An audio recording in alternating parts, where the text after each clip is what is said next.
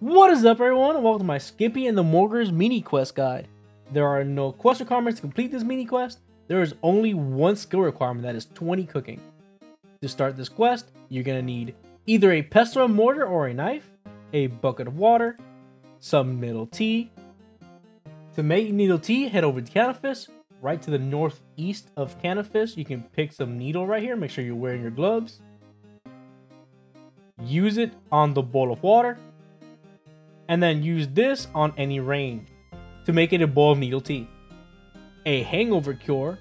To make the hangover cure, you can get a chocolate bar with either 38 cooking entering the Cook's Guild, you can steal it from a spice stall, or you can buy it from Zanaris. Whichever way you choose to get it, it's up to you. Use the pestle mortar or a knife on your chocolate bar, turn it chocolate dust.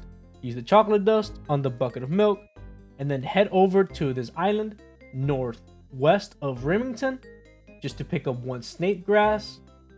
Careful with the hobgoblins, they can attack you. Then use the snape grass on the chocolate milk and some gloves. You can start this quest right here, southeast of Rimmington, right where you see this drunk guy walking around. To start the quest, just right click, silver him up, throw the water. Now, once the conversation's finished, use, do not drink, do not empty, use the nettle tea on Skippy. And now finally use the hangover cure on Skippy.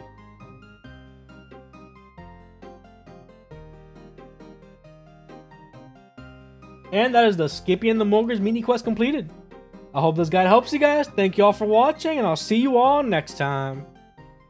Wait! Before you click off the video, I want to thank all the Motley crew members for the support and helping me make more videos. As well as I want to let you know that in the description down below, there will be a link to the Discord where you can join our community, get notified on the latest content, giveaways, and contests.